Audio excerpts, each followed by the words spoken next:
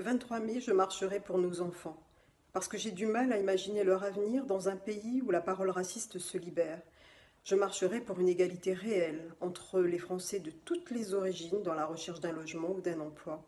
Je participerai à cette grande marche citoyenne et solidaire parce que je suis convaincue qu'elle peut permettre d'éveiller les consciences et d'ouvrir les esprits et de lutter contre l'intolérance.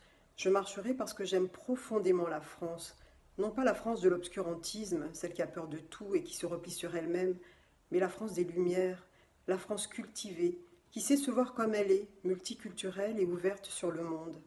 Le 23 mai, marchons ensemble contre le racisme.